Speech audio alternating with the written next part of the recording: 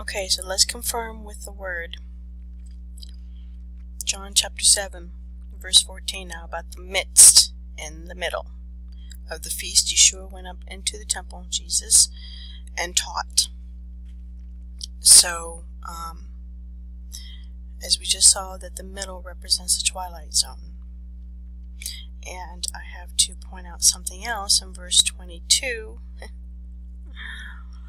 um, to confirm the calendar that I've been showing you all.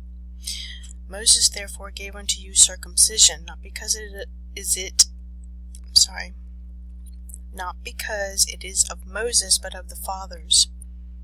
And ye on the Sabbath day circumcise a man. So it had to be on the Sabbath when you circumcised a male baby. As we know, Yeshua was circumcised on the eighth day of Tabernacles, which is um, Shemini Atzeret, Tishri 22, and Tishri 22, the 22nd day, is always a Sabbath. So it was the eighth day of Tabernacles, and it was a Sabbath. Okay, so he was circumcised on a Sabbath day. So watch this. Okay, so for those of you who don't know, if you're new to this channel, um, I have a, a calendar that I call Yah's calendar, and it depicts the correct Sabbath days. The Saturday Sabbath is not correct.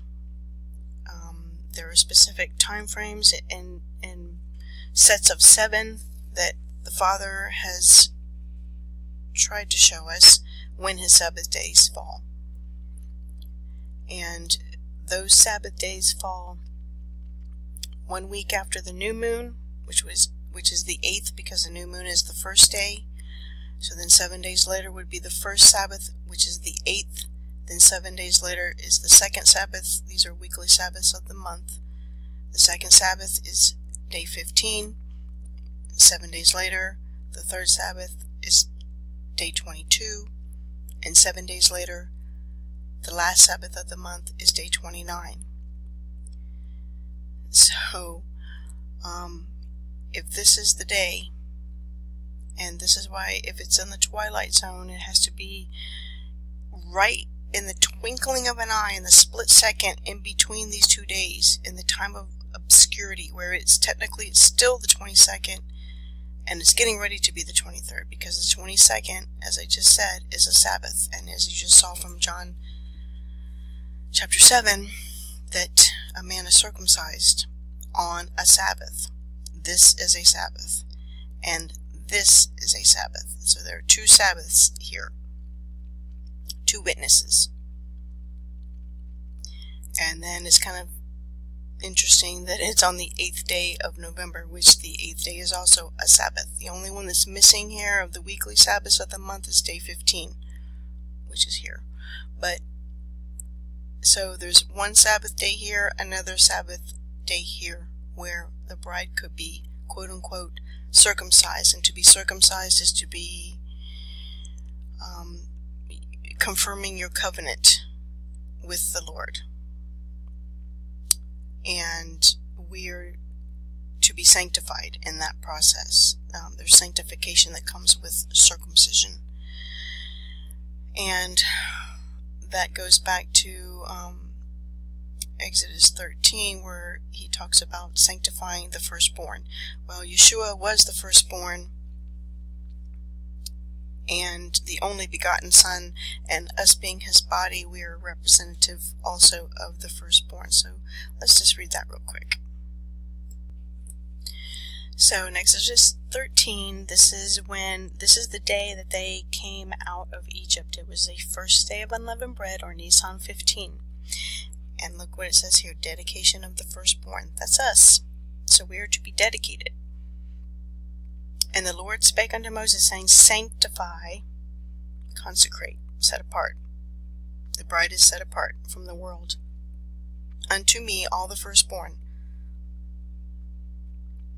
And then Moses goes on to say, Remember this day in which you came out of Egypt. So he's saying that the day you came out of Egypt, which is Nisan 15, that is the day that you were sanctified unto the Lord, you were consecrated, you were set apart as the firstborn.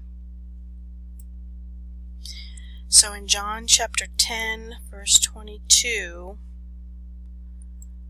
as you can see,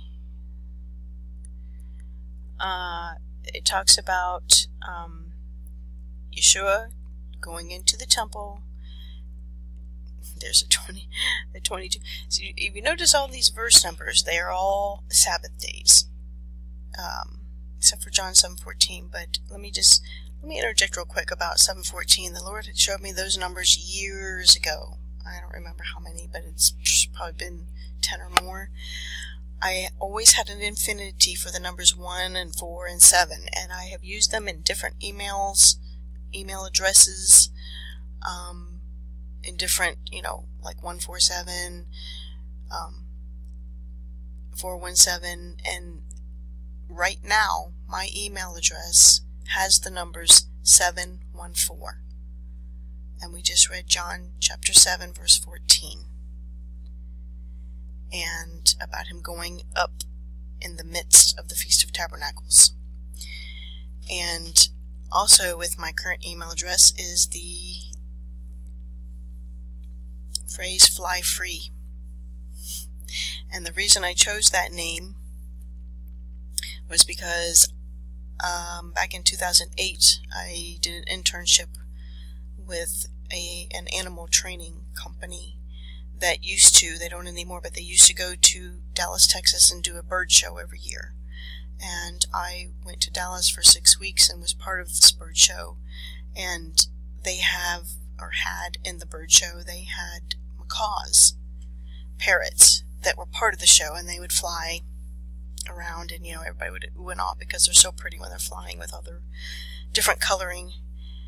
And one of the things they gave us was one of those rubber bracelets you know, those that have messages on them, and um, because they had extras, and so they were giving them to us. And on the bracelet it said "Fly Free," and it was for the Parrot Trust Fund. And of course, I took one and I wore it for a, a long time until it finally wore out. But I liked the the name when I chose it for an email because um, I also used to work with birds of prey, and of course since I worked with birds of prey, I worked with eagles, and um, my favorite verse to this day, even before I began working with those birds, is Isaiah 40:31. We shall mount up with wings like eagles. And um, my ex from many years ago gave me a little card, like a little business card, that had that verse on it with a picture of an eagle flying, and I still have it to this day. It's on my refrigerator. So Do you see how he works through our lives? All throughout our lives, he's he's he's showing us things to point us to him. And I believe to this time frame we're in right now. So okay, moving on with the study. Um, okay, so John chapter ten, verse twenty-two is when he goes well, let's just read it. And it was at Jerusalem, the feast of dedication. And look here, what does dedication mean? Um, Enkainia, dedication, renewal of religious services. But there's also, um, if we go back to um, First Kings chapter 8, I'm sorry, let's go to Second Chronicles chapter 7, which is the same as I've been talking about, the, is the parallel of the events in First Kings chapter 8. So, the Feast of Dedication, and let's see what the word dedication means. Hanukkah. So see, as I was talking about in the in the video that I posted earlier today, that we're thinking of Hanukkah as a, you know, a, a Jewish holiday that happens in winter. Well, um, he's letting us know that no, don't look at it like that. It's Hanukkah. This is where they get the name Hanukkah, and it means dedication, consecration. And what did we just read in Exodus 13? The Lord said to consecrate all the firstborn unto me. Okay, so um, as we saw, uh, Yeshua went up to um, the temple to observe the Feast of Dedication, or Hanukkah. And it says he went up to the temple to teach, and it was winter. So let's see something about winter in Israel. So as you see here, I did a search. It is actually winter in Israel right now, late October to mid-March. So our Feast of Hanukkah doesn't have to be December 21st because that's, you know, what um, we know as the turning point as the winter solstice. Um, but in Israel, winter begins in late October. And we, so basically it just began. So for Yeshua to come into the temple during the Feast of Dedication, during winter, totally fits with this time frame right now. And of course, I just had to show the verses because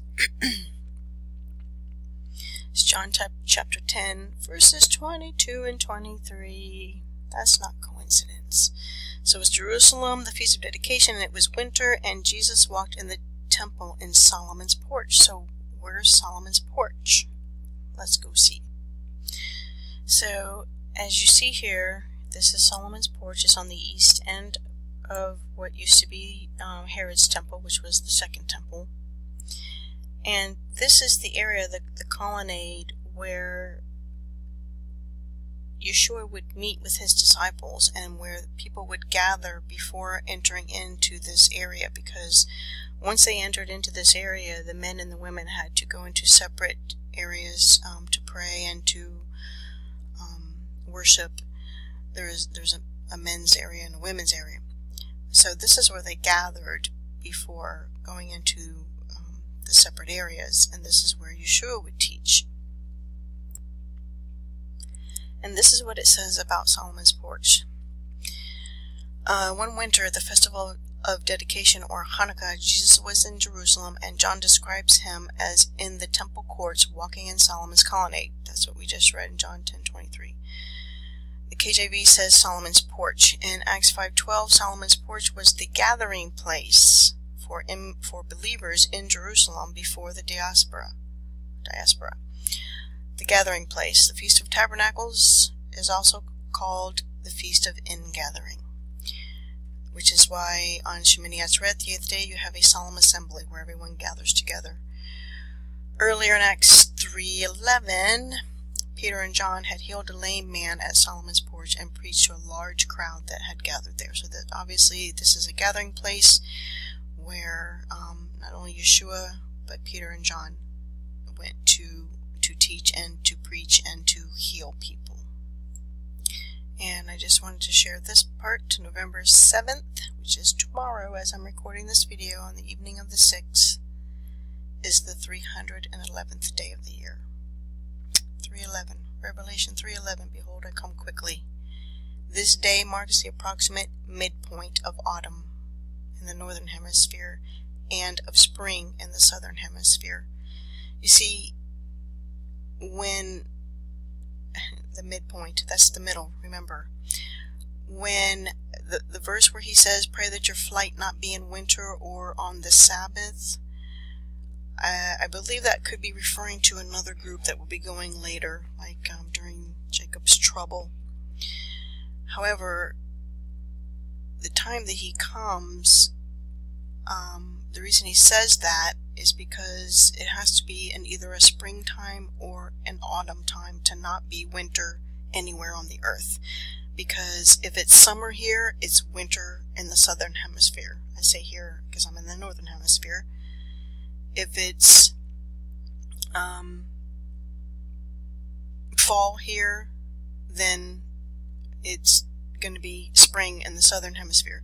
So, in other words, what I'm trying to say is, in other, for it not to be wintertime in any part of the world, he has to come between during an autumn, which would be a spring in the southern hemisphere. He has to come during this time because any other time it would be winter somewhere whether it's here or in the southern hemisphere, it would be winter because the summer and the winter are the the opposite um, seasons for the northern and southern hemisphere. So, do you see, guys, how everything is pointing to what I'm sharing here right now?